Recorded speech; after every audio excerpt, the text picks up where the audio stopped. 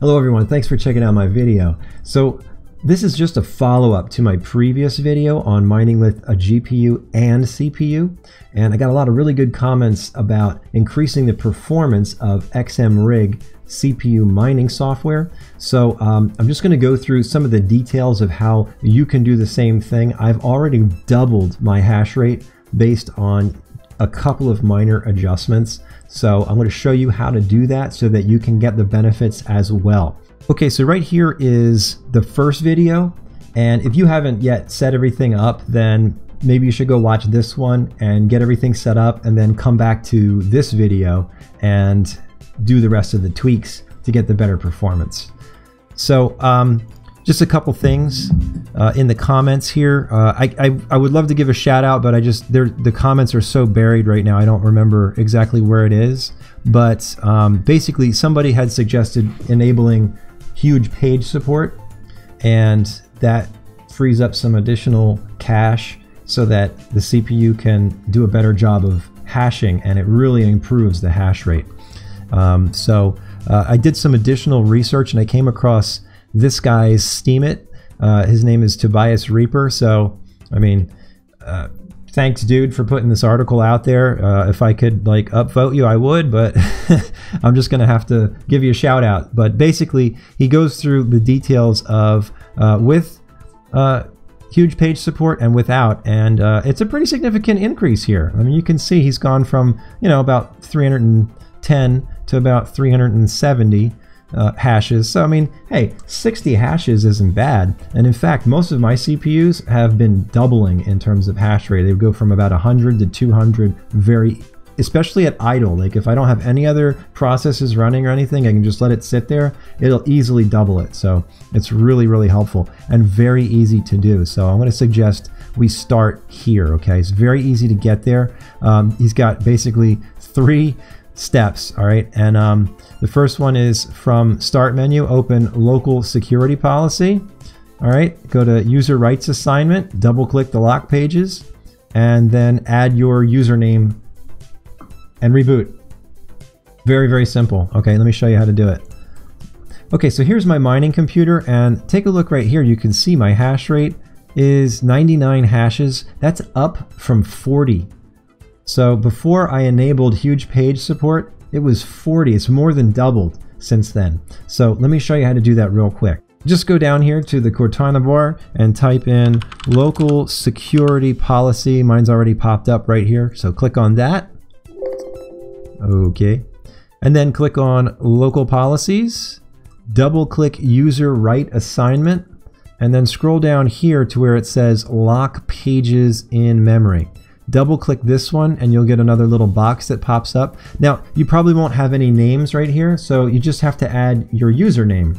So just click on the add user or group button and type in your username here. Now, if you have a local account, you just type in the name and click on check names and it'll probably find it right away. If you're using a Microsoft account where you have to type in your email address, then just put in your Microsoft email address and click on check names and it'll find it automatically.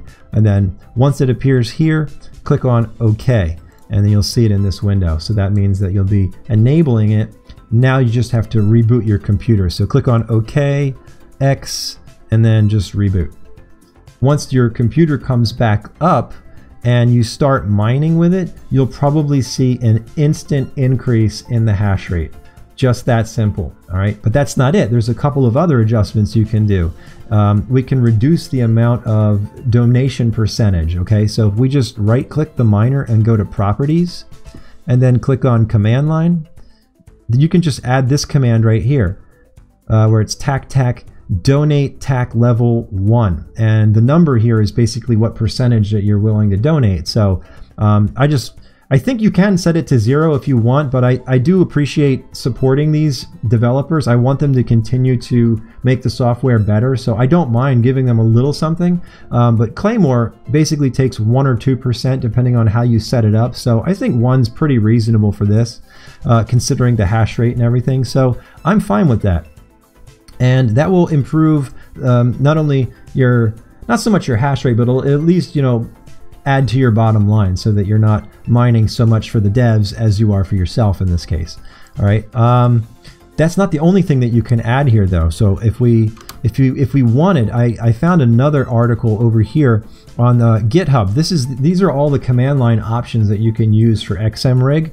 So um, this one here is uh, TacTac Max CPU usage. So the default CPU usage is 75%, but if you want to increase that, you can take it up to 95, 100. I mean, if you want to max it out, you could. Um, and that will get you some more performance, a little bit higher hash rate. The only thing here though is if you max it out, you have to be sure that your cooling is up to par, okay? You don't want to do this on a stock CPU cooler, or if you have a laptop, I, I, wouldn't recommend it, okay? Because the temperatures may get too hot and the stock coolers aren't very good at dissipating the heat. So if you have an aftermarket cooler and you're an overclocker and you're already familiar with that kind of stuff, then you should be in good shape to, you know, push it a little bit further. But for most people who are just using, you know, basic PCs, um, you're probably safer just leaving it at 75. And I think that huge page support should be adequate enough for you. But if you wanted to add this command, um, really simple, you just copy it and paste it right here. All right, and let's change it. Say let's let's go ahead and make it 85. All right, just for fun. All right, I'll click on OK. All right, and see this is mining right now, so I'm just going to stop it and then start it again. And we'll see that this the hash rate will be a little bit higher, okay? And you get the readout here. So see how right here it says huge pages available enabled?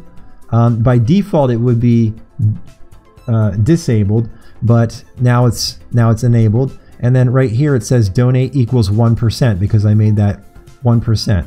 All right, but now take a look at the hash rate. It's way, it's it's like another 10%. It's uh, well, now it's bouncing back and forth, but um, it, it hit 111 right there. So let's see if it bounces back up. Yeah, 105. Um, it's, yeah, it's going to bounce back and forth, but um, for what it's worth, it gets a little bit more performance out of it. Um, it, it wasn't going quite that high, honestly. It was kind of sticking around 100. So, um, but that's the way it goes. It's one of these things. You're going to have to kind of play around, around with it your own and see you know, what works best for you. Yeah, I mean, it bounces back and forth, but it's pretty consistently hitting highs of over 100. Yeah, see, we've got a min and a max, so 93 to 110. It's not bad, guys. It's I'm I'm pretty happy with it the way it is, you know. So I don't even mind if it stays at 75%. That's fine with me. And the cooler on this thing isn't all that great. It's a teeny tiny little cooler because it's my itsy bitsy machine. So um, as you can see, about 27 cents per day. So that's roughly uh, I don't know three or four coins per day. Not bad for uh, two cores, you know.